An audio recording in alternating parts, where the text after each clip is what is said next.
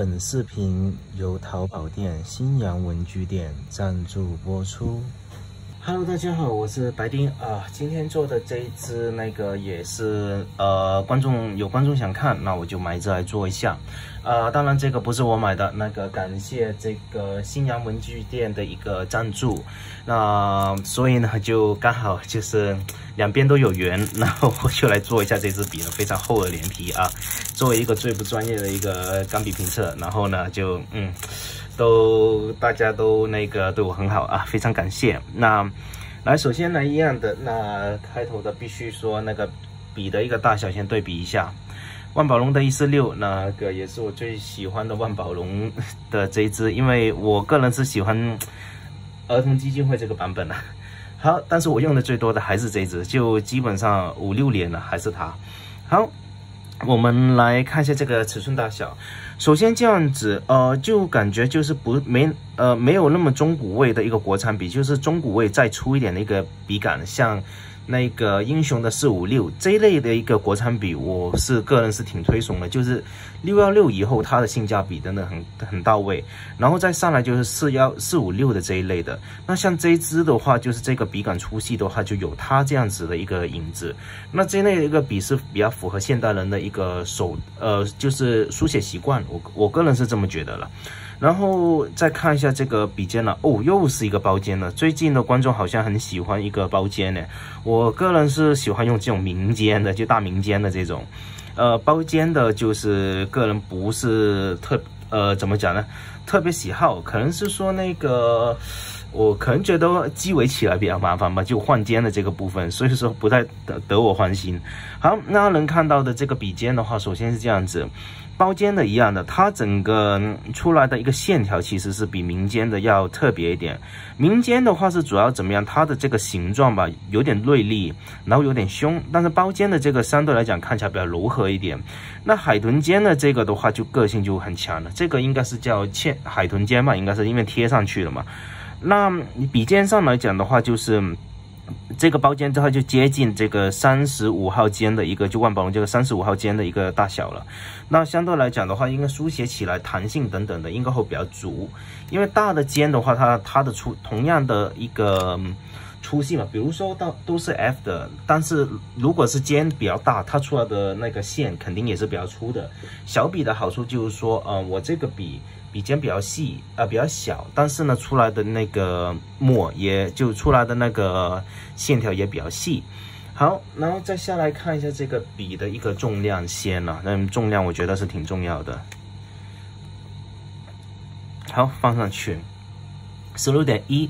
那以这个大小来讲，这个重量我觉得还是 OK 的，就是不会太重，因为它这个笔还是。比平常那种细笔还是粗上一个号，那相对来讲的话，这个重量是可以接受的。那像那种超重的，那那必须是五十克了，其实可以差好几倍。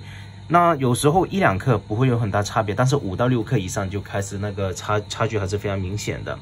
那没有拔帽的情况下的总长是一百三十五左右的一个总长，然后再下来啊，我我尽量小心一点，我怕碰到那个笔尖。好，那这个这把卡尺应该是非常准的。好，那这个的话，一百二十七左右的一个拔帽的一个，你看刚刚好啊，拔帽的一个拔呃长度。再下来呢，呃一样，我会量一下这个握位这个部分。那这个握位可能是这个顶再前一点。好，那就量一下这个位置啊，松点，OK。好，十点七三的一个握位，嗯，好像这些钢笔吧，基本上这个粗细度都就这个，呃，怎么讲，就是它的一个设计经验还是很足的，因为我看很多国产笔在这一点上面做的其实还是非常好的。好，再下来我们来看一下这个笔的一个笔杆先。那刚刚拿上手的时候，那个我就引入眼帘就这段字了，那就是呃，反正什么作战胜利。哦，这个反正呃，问我我我我也不太懂，倒是看一下上面的这个字哦，Made in China，然后这里永生二三六嗯，其实像这种的一个课文，我个人觉得还是挺漂亮的，就是它很精细，它不会，但是还是有点就你看一下二三六的这个。二三六这个二呃二的话，你看到它的一个凹陷旁边，它是有整个一个压下去那个曲面，那个做的比较大。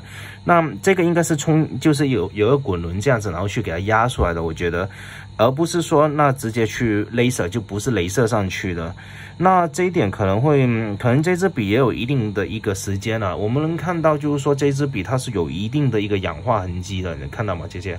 这个不是我的指纹了，这个是真的是氧化的一个，不能叫氧化，这种雾化吧，雾化吧，这用我形容一下它这个效果好了。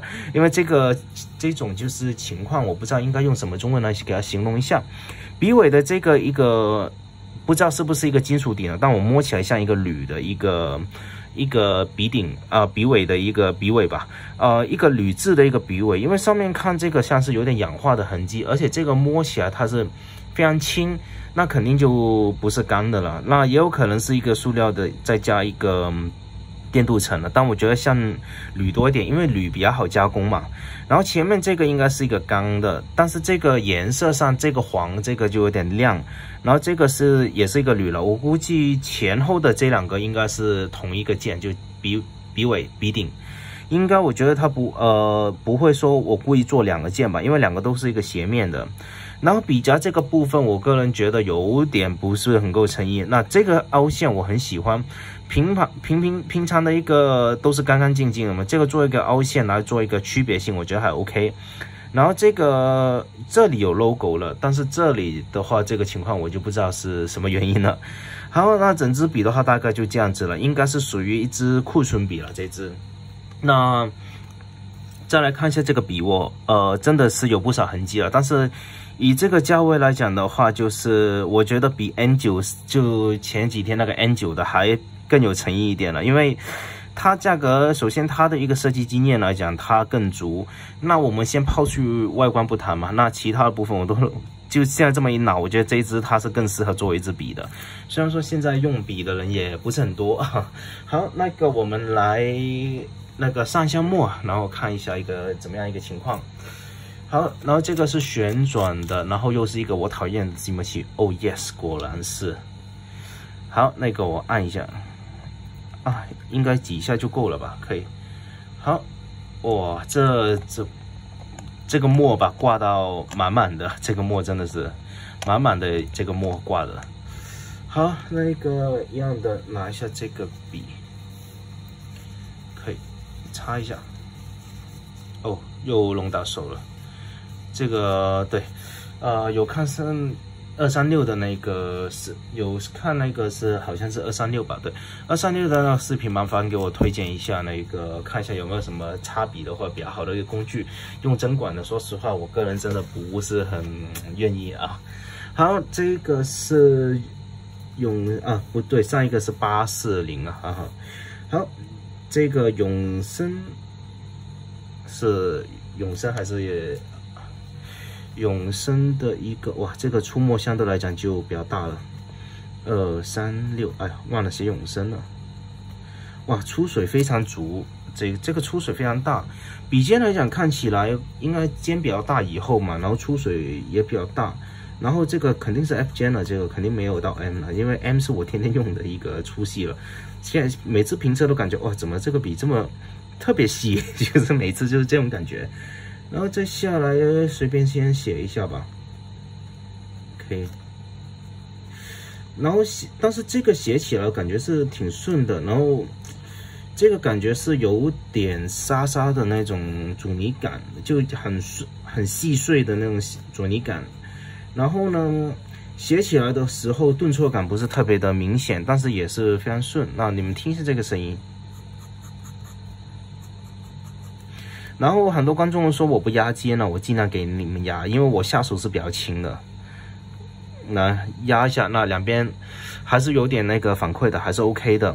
然后断墨上也没有看到出锋的话，我一样吧，写个永字吧，好吧。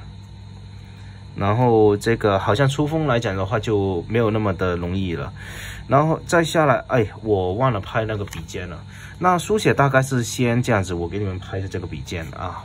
然后这一个其他的就没有什么大问题了，反正书写的话都都 OK。那唯独是说，我觉得比较难出风，也有可能是我写字的一个问题了。再下来就是这个是那个你看到 FF 那跟 Waterman 的那个圆珠笔的一个粗细差不多，让人看到。那也没有什么其他的特别大不好的写感呢，或者等等的。因为通常如果是真的，我正常用笔的一个要求不是那么的高了。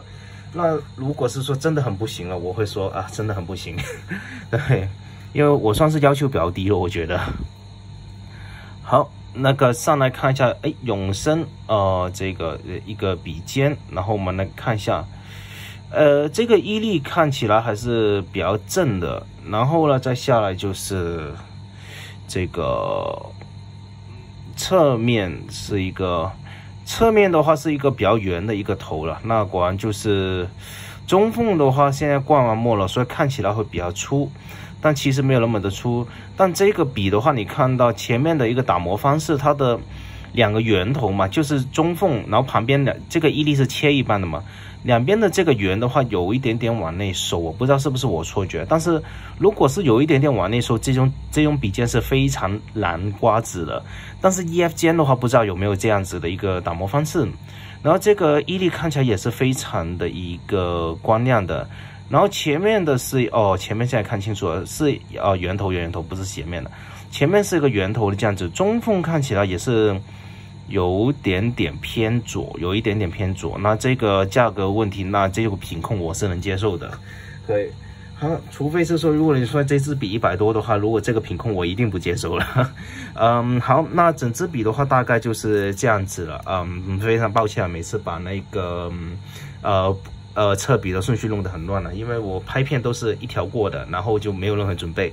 好，那今天的视频就到这里了。那有什么问题可以下面给我留言，也可以是说我忘什么，帮我补充一下。我们下次见，拜拜。